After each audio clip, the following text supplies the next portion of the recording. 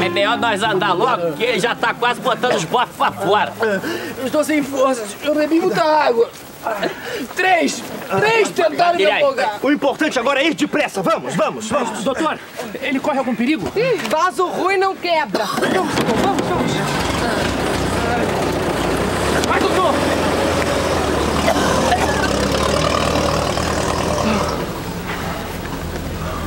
Guilherme, que bom te ver de novo, meu filho.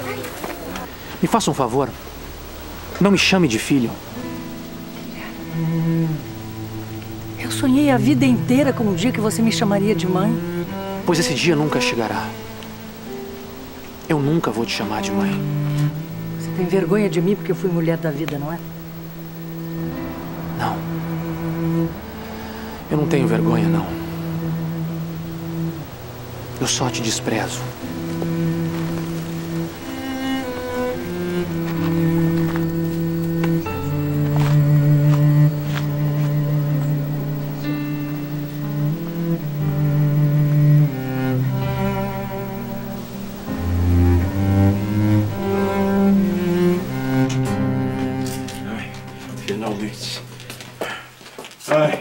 Cabritinho, ainda bem que você não gastou um tostão no Converscote. Gastar como? Se o senhor não me deu dinheiro pra comprar nada. Eu tinha duas moedinhas e dividi o sanduíche e perdi com ela. Foi. Que vergonha, hein, vovô? Vergonha é você. Ainda tá enrabixado com aquela morta de fome. E o senhor? O senhor não tem vergonha não, senhor Conde? Eu vi que andava atrás da cabritona o tempo todo. Ela me oferecia comida de graça. Ela trouxe de casa, escondida. Ela é espertinha. É, não é como certas pessoas, gastadeiras demais, né? Ué, oh, cabritinha, cabritinha. Será que você está com ciúmes, é? O senhor não se enxerga não, senhor Conde? Eu vou subir. Ela é louca por mim.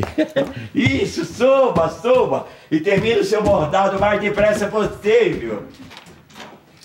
Senhor Conde, oh, viemos nos reunir. Mas o que é isso? Vocês entram assim? Sem mais nem menos, como se fosse a casa da sogra? Ah, da sogra não, que na casa da sogra sempre tem muita comida sobrando. Aproveitando, Matilde, eu- a minha boca está seca por um café. Vou fazer um café bem gostoso, seu prefeito. Café não. Que desperdício é esse? Bem, já que é reunião, eu também vou pra cozinha. Aproveito e faço uma boquinha, já que eu não tinha dinheiro pra comer no piquenique. Com licença.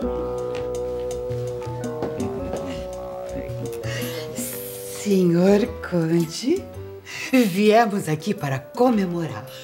Comemorar o quê? O plano saiu maravilhoso.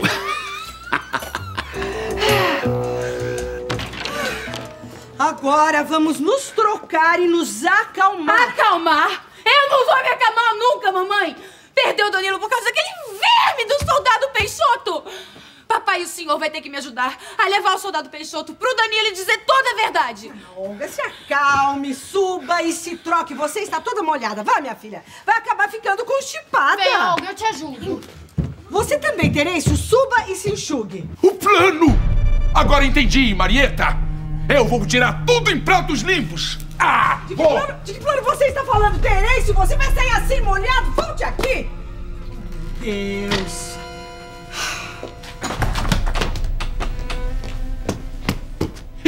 Você! Jezebel! Você expôs a reputação da minha filha Olga! Tem uma velha mexeriqueira aqui, ó. Eu já vou sair, já tô indo.